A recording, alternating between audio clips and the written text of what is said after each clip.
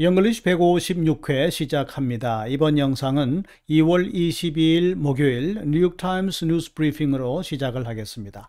세 가지 소식을 골라봤습니다. 첫 번째는 Russia warned against NATO troops in Ukraine 이라는 소식이고 그리고 두 번째로 골라본 소식은 Hamas played down talk of a nearing ceasefire 그리고 세 번째로는 Mercury pollution is stubbornly high in tuna 라는 세 가지 소식입니다. 자, 그럼 첫 번째 소식부터 하나씩 짚어가면서 중요한 표현 정리하고 중요한 어휘 정리하면서 같이 읽어 보겠습니다.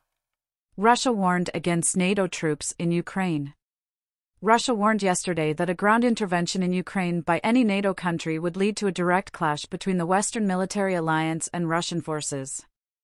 The response came a day after France's president, Emmanuel Macron, made a provocative comment about the possibility of allied countries sending in troops.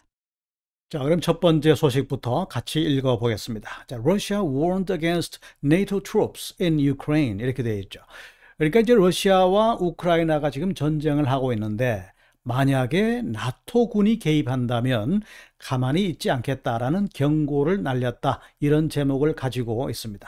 자, Russia warned yesterday that a ground intervention in Ukraine by any NATO country. 일단 여기까지 먼저 보겠습니다. 자, Russia warned yesterday. 자, 어제 경고를 했습니다. 자, 그다음에 이제 대철이 이어져 나오죠. A ground intervention. 지상군의 개입을 가리키는 겁니다. 근데 뒤쪽에 보시면은 in Ukraine. 자, 우크라이나에서의 지상군의 전쟁 개입입니다. 자, 누구에 의한 전쟁 개입이냐? By any NATO country 이렇게 말했는데 이거는 지금 무슨 말이냐 하면은 북대서양 조약기구 나토 회원국에 가입한 유럽 서방 국가들 중에서 어 떠한 나라라도 그 중에 어느 한 나라라도 이 ground intervention을 하게 된다면 여기까지 내용인데 일단 intervention이라는 이 명사는 intervene이라는 동사에서 나온 명사형입니다. 개입하다, 중재하다, 혹은 끼어들다, 회방 놓다 이런 뜻을 가지고 있는데 예를 들어서 the government decided to intervene in the market. 자, 정부는 시장에 개입하기로 결정을 내렸죠. 왜 그렇습니까? To stabilize prices. 가격을 안정화시키고 그리고 prevent inflation. 인플레이션을 예방하기 위해서 국가가 시장에 intervene, 개입하기로 결정을 했다는 얘기입니다. In an effort to preserve peace, 자, 평화를 preserve, 보존하기 위한 노력으로 the UN may intervene in conflicts. 자, UN이 국제 연합은 between nations, 국가들 간의 conflict, 무력이나 충돌이나 갈등에 intervene, 가입할 수도 있다. 이런 뜻을 가지고 있다는 겁니다. 자, 그래서 이제 이 intervene 이라는 단어의 명사형이 intervention 이라는 뜻인데, 그러니까 여기서 a ground intervention 이라는 것은 지상전에서 만약에 나토국이 개입을 하게 된다면, 자, 여기까지가 주어였는데, 그 다음 세 번째 줄에 보시겠습니다. would lead to a direct clash.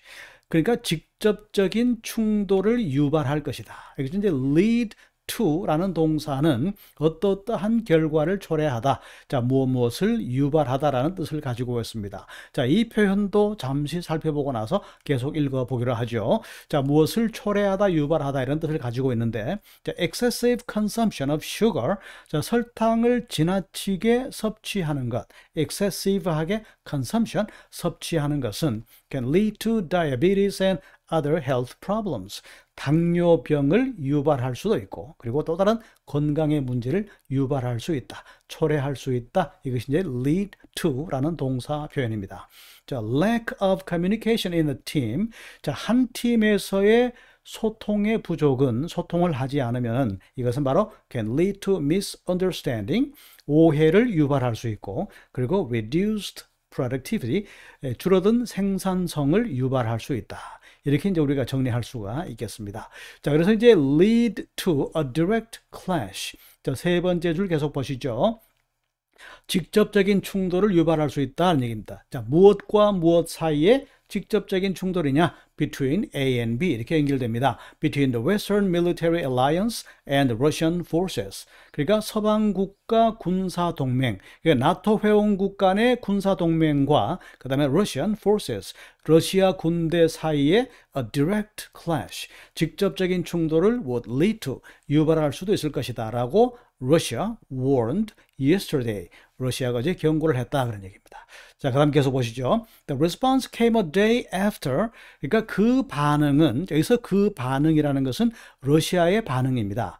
가만히 있지 않겠다라고 하는 러시아의 반응은 came a day after. 자, 뭐뭐한 하루 뒷날, 하루 뒤에 나온 반응이다 그런 얘기입니다. 자, 언, 언제로부터 하루 뒤입니까? After France's President Emmanuel Macron, 그러니까 프랑스 대통령인 에마누엘 마카롱 대통령이 made a provocative comment, 도발적인 말, provocative comment, 도발적인 말을 한 하루 다음 날 그런 얘기입니다. 그 무엇에 관한 도발적인 말입니까? About the possibility of allied countries sending in troops. 그러니까 이 연합 국가들이 allied countries 동맹을 맺은 국가들입니다. allied 연합 국가들이 sending in troops 예, 군대를 파견할 possibility 가능성에 대한 provocative comment 러시아를 자극할 수 있는 도발할 수 있는 그런 말을 한 바로 그 다음날 러시아의 이런 반응이 나왔다. 이렇게 정리가 되는 거죠. 자, 계속해서 두 번째 소식 확인해 보겠습니다. Hamas played down talk of a nearing ceasefire. After President Biden expressed cautious optimism on Monday about the chance of a ceasefire in Gaza by next week, Hamas threw cold water on the prospect that it was close to reaching an agreement with Israel. 자, 두 번째 소식은 이런 제목을 가지고 있습니다. Hamas played down talk of a nearing ceasefire 이렇게 되어 있는데 자, 우선 여기서 굉장히 중요한 동사 표현 하나가 등장합니다. 꼭 기억을 해 두시기 바랍니다. play down. 자, 가볍게 넘겨버리다. 자, 조금 이제 그 중요성을 있는 그대로 보여주거나 그 중요성을 강조하는 것이 아니라 무시하고 넘어가 버린다는 그래서 경시해 버린다는 그런 의미를 가지고 있습니다. 그럼 실제 문맥에서는 맥락상 어떤 상황에서 어떤 의미로 쓸 수 있는가 좀 더 자세히 들여다본 다음에 기사 내용 계속해서 살펴보겠습니다. The government played down the severity of the economic crisis to avoid public panic. 그러니까 to avoid public panic. 대중들의 국민들의 패닉을 피하기 위해서 예, the economic crisis 경제 위기의 severity 심각성을 정부는 play down 해버렸다. 정부는 그 심각성을 그냥 가볍게 넘겨버렸다. 그런 얘기입니다. 그렇기 때문에 이후에 엄청난 결과를 초래할 수도 있다는 그런 느낌을 담고 있는 표현이 되는 거죠. The manufacturer played down the defects. 자, 그 제조업체는 the defects. 결함, 결점이 있는데 그 결함을 그냥 무시하고 넘겨버렸다. 가볍게 넘겨버렸다. 그런 얘기입니다. 어떤 결함이냐? found in the product. 그 제품에서 발견된 결함. 그 결함을 무시하고 넘겨버렸다. 가볍게 그냥 넘겨버렸다. 이렇게 되는 겁니다. He played down his achievements. 자, 그는 그 사람이 세운 업적, 그 사람의 공적, 그 사람이 기여한 것, 이것을 가볍게 넘겨버렸다. 그런 얘기입니다. 왜 그렇습니까? insisting that he was just a part of a team. 자, 그 자신도 한 팀의, 한 팀을 구성하는 일원이다. 한 팀을 구성하는 그냥 자신도 한 사람일 뿐이다 라고 주장하면서 자신이 세운 업적을, 자신이 기여한 바를 play down 했다 그런 얘기인데 자 여기서 play down은 앞에서 본 두 개의 문장과는 약간 느낌이 다른 거죠. 다시 말해서 겸손한 자세를 취하다. 이런 뉘앙스로 우리가 세 번째 문장을 해석할 수가 있습니다. 자, 그래서 Hamas play down talk of nearing ceasefire. 그러니까 전쟁 중단에 가까워졌다. 라고 하는 이야기를 하마스는 그냥 무시하고 넘겨버렸다. 그러니까 팔레스타인의 하마스죠. 지금 팔레스타인과 이스라엘 간에 굉장히 무력 충돌이 오랫동안 지금 이어져 오고 있는데 팔레스타인과 이스라엘 사이에 예, 그 충돌이 끝날지도 모른다. 전쟁이 끝날지도 모른다는 이야기를 팔레스타인의 하마스가 그냥 플레이 다운 해버렸다. 그런 제목을 가진 기사가 되겠습니다. 자, 계속해서 뒤쪽의 내용 보겠습니다. After President Biden expressed cautious optimism on Monday 이렇게 말했습니다. 그러니까 미국의 바이든 대통령이 cautious optimism을 표현했다 이런 얘기인데 조심스러운 낙관론이 되는 겁니다. 월요일에 조심스럽게 낙관론을 펼쳤다 그런 얘기죠. 자, 뭐에 대한 낙관론입니까? About the chance. 가능성에 대한 그런 얘기입니다. 자, 무슨 가능성입니까? Of a ceasefire in Gaza by next week. 다음 주쯤에 가자 지역에서 전쟁 중단의 chance, 가능성에 대해서 그런 얘기인데 그래서 우리가 chance란 단어를 그냥 기회라고만 봐서는 곤란합니다. 우연이라는 의미도 있고 가능성이라는 의미도 있고 우리가 잘 알고 있는 기회라는 의미도 있는데 제가 그럼 여기서 우리가 가능성이라는 의미로 사용된 chance의 예문을 좀 더 살펴본 다음에 지나가겠습니다. The weather forecast says 자, 일기예보에 따르면 there's a 50% chance of rain this weekend. 이번 주말에는 아, 강 비가 내릴 가능성이 50%입니다. 라고 일기예보에서 이렇게 알려준 거죠. Scientists say, 자, 과학자들에 따르면 there's a small chance. 그럼 여기서 가능성이 낮다는 이야기입니다. of an earthquake in this area.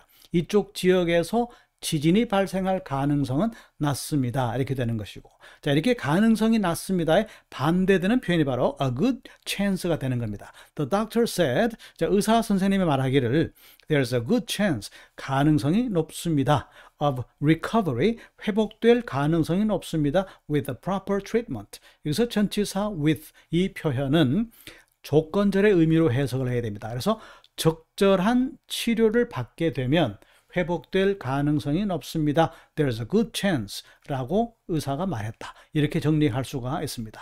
그래서 여기서 말하는 가능성이라는 것은 about the chance of a ceasefire in Gaza. 자, 가자 지역에서 전쟁 중단의 가능성에 대해서 낙관론, 그러니까 cautious optimism이라고 말했죠. 조심스러운 낙관론을 바이든 대통령이 표현한 이후에 자, 여기까지가 after 접속사 after에 이어지는 내용입니다. 자, 그 다음에 이제 주절이 나오는 겁니다. Hamas threw cold water on the prospect. 자, 하마스는 그 전망에 대해서 찬물을 끼얹었다 이렇게 말합니다. 그래서 우리가 글자 그대로 보게 되면은 through, throw, 던지다, cold water, 차가운 물을 on, 무엇 무엇 위에 던진다 그런 얘기인데 글자 그대로 보시면 되겠습니다. 바로 찬물을 끼얹다. 자, 그런 얘기죠.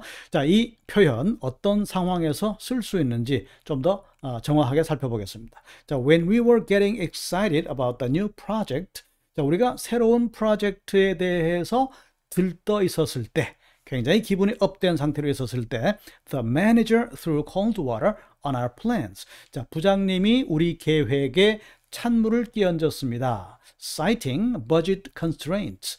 예산이 제한되어 있다라고 말하면서 자, 우리는 이제 이 프로젝트를 실행하는 것에 들떠 있는데 예산이 없습니다라는 말을 하니까 우리 계획에 찬물을 끼얹은 셈이다. 이렇게 우리가 정리할 수가 있습니다. 그죠? Every time we come up with a new idea. 자, 여기서 come up with 어떤 새로운 생각을 떠올리다 새로운 아이디어를 내놓다 그런 얘기입니다. 그래서 우리가 새로운 아이디어를 내놓을 때마다 John throws cold water on it. 자, John은 그것에 찬물을 끼얹었다 그런 얘기입니다. 자, 어떤 식으로 찬물을 끼얹어 버립니까? Without even considering its potential. 그 잠재력, 그 가능성에 대해서 생각조차도 하지 않고 그런 얘기입니다.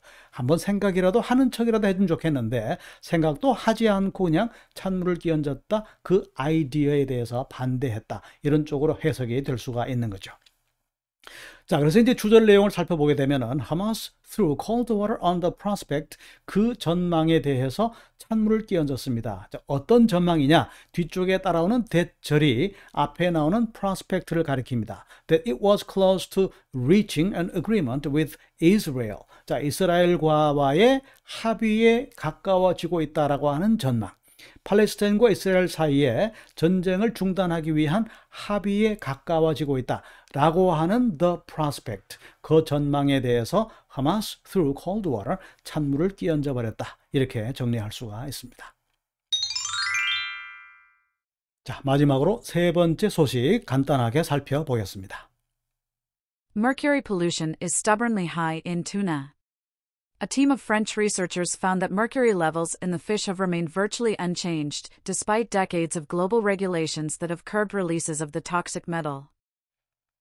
자, 이번 기사의 제목은 이렇게 되어 있습니다. Mercury pollution is stubbornly high in tuna. 이렇게 되어 있습니다. 그래서 mercury, 바로 수은을 가리키는 겁니다. 그리고 이제 M자를 대문자로 쓰게 되면은 우리 태양계의 행성인 수성을 가리키기도 합니다. 여기서는 이제 수은을 가리키는 거죠. 자, 수은에 오염되는 것, pollution is stubbornly high in tuna. 참치의 몸에, 몸 안에 굉장히 고집스럽게도 높다. 그러니까 참치가 수은에 중독되어 있는데 그것이 stubbornly high, 고집스럽게 높다는 이야기는 어떤 내용이냐 하면은 이 그 수은 중독 독성 물질에 대한 중독을 낮추기 위한 인간의 노력이 계속되고 있음에도 불구하고 그 노력에 비해서 전혀 영향을 받지 않고 꾸준하게 일관되게 수은 중독이 유지되거나 높아져 간다는 그런 느낌을 담고 있는 그런 표현이 되는 겁니다. 그래서 뒤쪽의 내용을 같이 한번 읽어보겠습니다. A team of French researchers. 자, 프랑스 연구자 한 팀입니다. 자, 프랑스인들로 구성된 연구자 한 팀이 found 이런 사실을 밝혀냈습니다. That mercury levels in the fish. 자, 여기서 in the fish 이 부분이 또 중요한 포인트가 한 가지 있겠죠. 그냥 물고기가 아닙니다. 정관사가 붙어 있기 때문에 in the fish. 여기서는 이제 참치 앞에 나온 tuna, 참치를 가리키는 겁니다. 그래서 참치 몸 속의 mercury levels, 수은의 수치가 되겠죠. 이것이 have remained virtually unchanged 이렇게 되어 있는데 여기서 우선 remain이라는 단어를 잘 보시기 바랍니다. 자, remain 남다라는 의미도 있죠. 남다라는 의미도 있고 뭐뭐인 상태로 어떠어떠한 상태로 유지가 되다라는 의미도 있습니다. 이 두 가지를 잘 정리할 필요가 있는데 우선 그 remain 이 단어를 한번 살펴보고 지나가겠습니다. 자, despite economic crisis, 자 경제 위기에도 불구하고 the currency's value, 자 통화 가치는 remained stable. 아, stable한 상태로 유지가 되었다. 안정된 상태, 어떠어떠한 상태로 유지가 되었다. 그런 얘기입니다. We have to invest in new technology. 자, 신기술에 투자해야만 됩니다. If we are to remain competitive. 우리가 competitive 한 상태, 경쟁력을 갖춘 상태로 유지하려면 어떠어떠한 상태로 유지하려면 이렇게 이제 remain 뭐뭐인 상태 어떠어떠한 상태로 유지하다 이런 뜻이 되는데 자, 세 번째 예문에서 remain은 조금 다른 의미가 되는 겁니다. The doctor ordered him to remain in bed for a few days. 의사 선생님이 그에게 어떤 명령을 내렸냐 하는 겁니다. To remain in bed for a few days. For a few days. 자, 며칠 더 머물러 있어야 한다. 침대에 말이죠. 다시 말해서 침대에 누워 있어야 한다. 병상에 있어야 한다. 다시 말해서 입원을 며칠 더 해야 된다. 이렇게 이제 이야기를 한 겁니다. 그래서 remain의 의미는 두 가지 일단 기억을 해 두시기 바랍니다. 첫 번째는 앞에서 살펴본 것처럼 무엇 무엇 어떠어떠한 상태로 유지하다.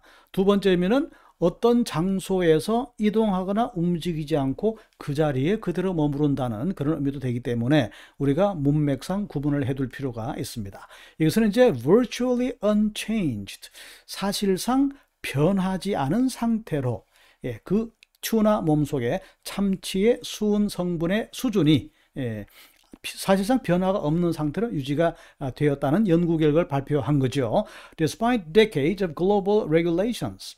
국제적인 기준이 있을 겁니다. 국제 규제, 국제적으로 규제하거나 기준을 정해둔 게 있는데 그 decades of입니다. 수십 가지의 국제 기준에도 불구하고 그런 얘기죠.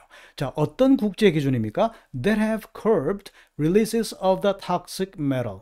자, 독성 금속 물질 배출을 curb 억제했던 국제 규범 global regulations 이 국제 규범 수십 가지에도 불구하고 사실상 참치 몸 속에 있는 수은 중독의 수치는 실제로 변함이 없는 상태, 그대로 줄어들지 않는다는 얘기입니다. 그러니까 실제 그대로 유지되거나 아니면 더 올라가는 정도의 그런 정도의 조사 결과가 나왔다라고 이제 발표를 한 거죠.